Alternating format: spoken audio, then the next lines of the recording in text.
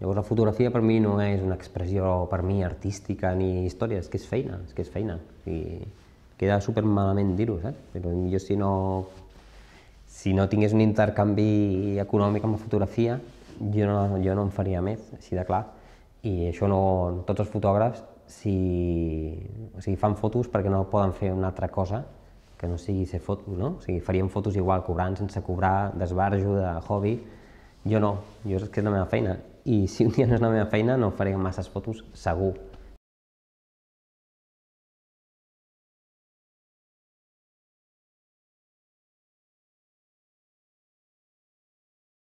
David Ruano va començar fent il·lustració i belles arts.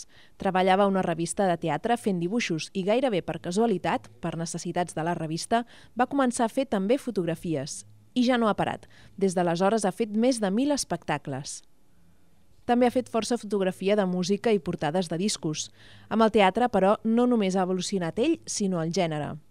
David, com has fet evolucionar aquest tipus de fotografia i com va sorgir? Doncs vaig començar amb la fotografia de teatre, que mm, bàsicament és fer fotografies dels espectacles, des de platea. Però probablement per aquesta vinculació amb les belles arts, amb el dibuix, amb la pintura, amb la il·lustració, eh, va fer que ben aviat em, em preguntés si podíem fer alguna més, no? I sobretot amb els cartells de teatre, que normalment sempre eren fotografies d'assajos que, que es maquetaven perquè poguessin ser cartells, però no es treballava massa, crec fins ara, eh, el cartell de teatre. Al vindre a Belles Arts, bueno, proposava amb les feines que sortien de, de preparar bé aquests cartells i aquesta poder seria la, la meva aportació, no? una miqueta, i no ho dic jo, sinó s'ha dit no? per molta gent de teatre, que és elaborar una miqueta el cartell com una cosa a part de, de l'espectacle i com una cosa concreta, no? com una imatge concreta. Fer cartells de teatre implica seguir uns requisits específics, com per exemple que es vegi la cara de l'actor. Això et motiva o ho trobes un impediment?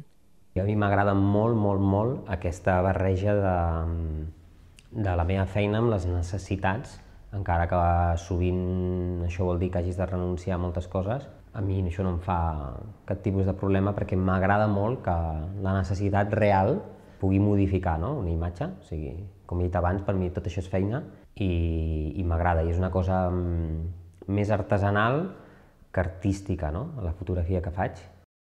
Quina estructura té ara David Ruano? Treballes sol?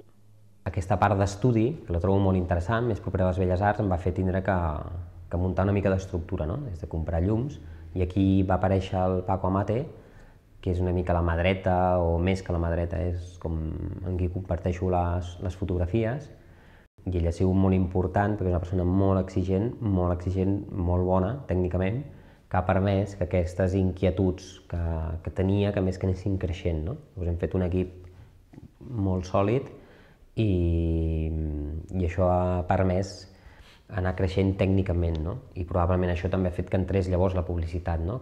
Que a nivell intel·lectual, a nivell d'idees, no, no es desenvolupa tant perquè ja et venen, perquè hi ha uns guionistes, ja no es parla fotògraf, però a nivell tècnic sí que és molt important, no? perquè el que sí que busquem és una certa excel·lència tècnica. No?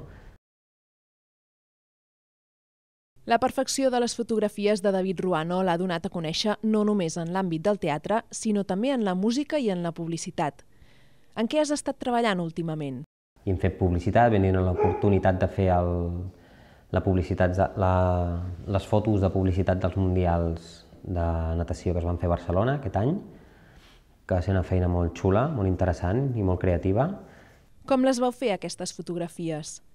Quin creus que és el secret de l'èxit, que quedin tan impressionants? Sí, el secret, el millor de les fotos de, dels Mundials de Barcelona, que, que han agradat molt i és veritat que tenen fan patxoca, és que tant la foto del davant, dels nedadors, com la del darrere, de la localització, que són espais de Barcelona, totes són nostres. I m'atreviria a dir que, que un dels motius que, que faci que hagin quedat així com molt integrades, tot i que sigui una imatge totalment irreal, és que la foto del darrere també la tiràvem molt tard, no? que just abans de fer fosc, que agafa aquest punt càlid, que tot i tindre molta postproducció, mm, eh, està tot ben aglutinat perquè en el fons són molt reals. Les fotografies dels atletes com les vau fer? Les foto, la foto de l'Andrea Fuentes i de la Ona Carbonell està feta amb una vestida i elles a terra feien la figura de sincro i nosaltres senzillament estàvem a, a dalt i les tiràvem des de dalt. A més, últimament també heu fet cuina, i cuina de la bona.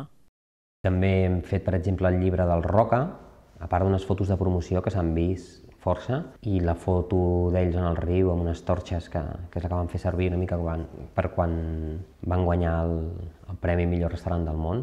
La vam fer un diumenge a les dos quarts de sis del matí, amb ells dins l'aigua. Com vau fer la foto? pues, res, tots a l'aigua, un muntatge important perquè s'havien de posar les llums dins de l'aigua, mangueres, bueno, tot un pel·lículon i, i les torxes, tot, tot plegat. Quin paper hi tenen els editors d'imatges, com per exemple Photoshop, en el resultat d'una fotografia? El secret de que les fotos quedin bé, ara amb tant de Photoshop i tant de rotllo, és que estiguin bé, que estiguin ben tirades. I el Photoshop el que fa és que una foto que està bé la fa créixer o la poleix o la, la fa brillar. No?